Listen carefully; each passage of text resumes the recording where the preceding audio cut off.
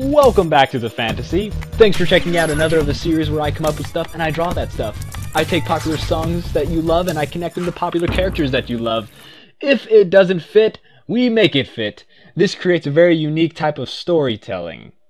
Now, I'm new at painting, let alone painting on Photoshop, learning new techniques, so if you see me struggling a little bit in this one, mm, just don't mind it. It'll come up later in the video. Pay attention. So, here we go. To understand what's happening in this picture, we have to cover some things first, such as the personalities of Ryuko and Senketsu. Secondly, we will go over a brief history of the situation due to the fact that this fan fiction fits into the Kill la Kill universe as is. That's right, no alternate timeline needed for this mashup, that being Kill la Kill and the popular song No by Meghan Trainor. We also must have a basic understanding of a coma and what is going on physically and mentally during that time. We'll touch on why the coma is important later. I'm only going to go over what is essential to the drawing and its purpose, so I may leave some things out. However, there are spoilers ahead. You've been warned. With that said, let's dive in.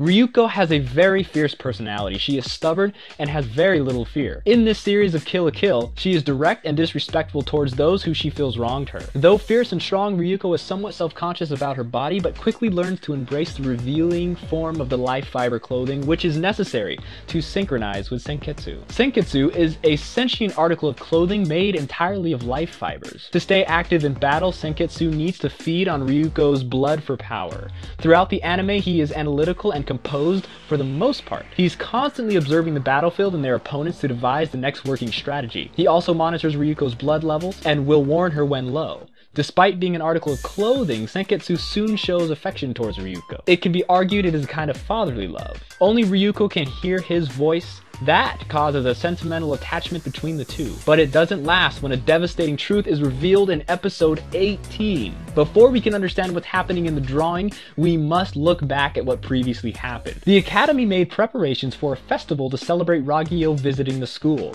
FYI, Ragyo is in the board of uh, directors, so it's a big deal. Yeah.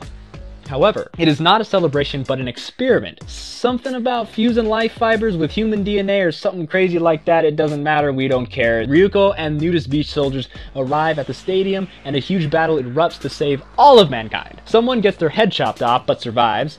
Someone gets beat and stripped and naked.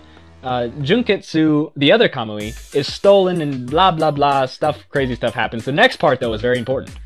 Towards the end of the battle, Ragyo powers up Junketsu and rips Ryuko's heart right out of her chest, literally. This reveals her to be fused with life fibers, proving the experiment 17 years ago was a success. Ryuko is revealed to be both human and life fibers. In a last-ditch effort to stage a retreat, knowing they were at a strong disadvantage, Satsuki triggered an explosion. How everyone survived is beyond me. In the anime, everyone blew up. It is this moment where Ryuko ends up in a coma. Okay, stay with me guys. We almost have all the information we need to make sense of the picture and how it connects to the song No by Meghan Trainor. According to WebMD, a coma is a prolonged state of unconsciousness. The person is alive and looks like he or she is sleeping. However, unlike a deep sleep, the person cannot be awakened. According to Susan Blackmore, a, prof- a psych professor, patients in a coma do not respond to touch sound, or pain, and cannot be awakened. Yet many people who have recovered from comas report dreams into which something of the outside world penetrated. Whether they dream or not probably depends on the cause of the coma. For the sake of this scenario, we will assume Ryuko has a very special coma case. The point that matters is the fact that Ryuko has this one particular dream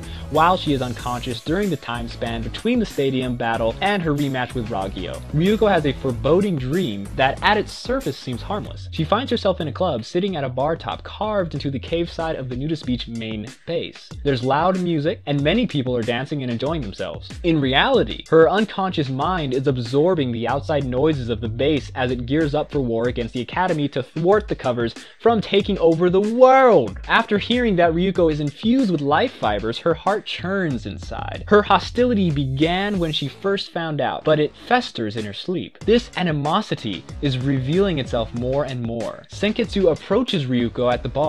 He looks at her with an eye of intent. With his eye only, he reaches out to her. In reality, the synergistic relationship between them allow them to mentally connect in a sense. Senketsu is waiting for Ryuko to awaken from her sleep. As mentioned above, Senketsu has grown sentimental of her and cares for her well-being. In this vision, it is possible Ryuko would say something along the lines of, I think it's so cute, I think it's so sweet, how you let your friends encourage you to try and come to talk to me.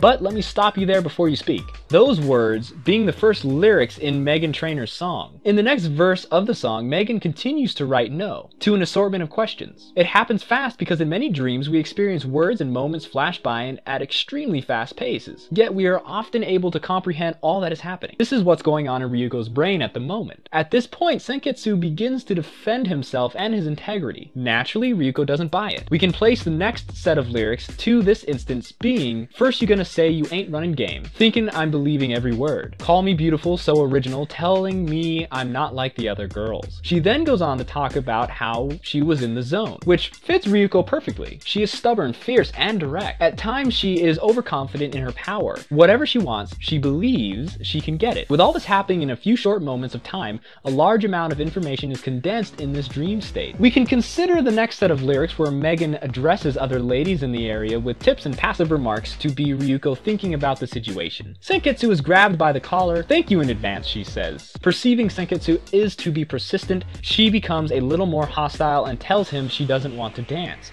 After all, when Ryuko awakens later, she feels she herself is an inhuman monster, and states she will never put him on again. Just looking at him pisses her off. This dream is a point in that road to that state she will be in. This is why the line is mentioned, I don't need your hands all over me. Ryuko is manifesting her irrational anger toward him in this dream. In her denial of the life fibers within her, Ryuko is projecting onto Senketsu. She doesn't feel human and feels betrayed by her own understandings of who she is. Having the same DNA as the transforming clothes makes her feel less human and more monstrous. Diving into the feelings of self-hatred, she projects that hatred onto her once good ally Senketsu. Psychological projection is a theory in which humans defend themselves against their own unpleasant impulses by denying their existence while attributing them to others. To finish this artwork to completion, we can assume Meghan's lyrics match Ryuko's dream state manifestations when it is written, if I want a man, then I'm gonna get a man. Immediately, Ryuko has Junketsu appear on her body. Junketsu is another Kamui and belongs to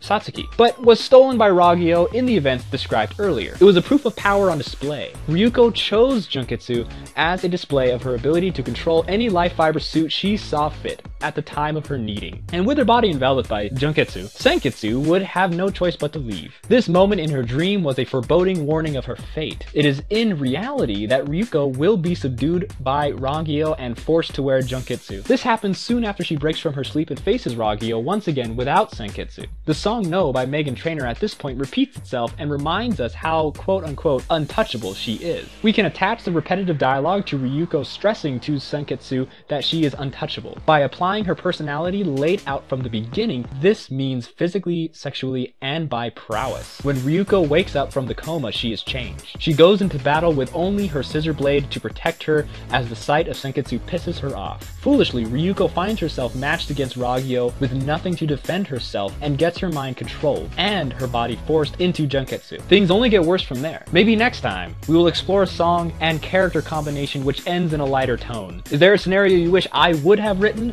Do you have a better one? Is it better than mine? If you do, share it below. I'm just itching to read it. Thanks for watching. Like it, share it, and subscribe it.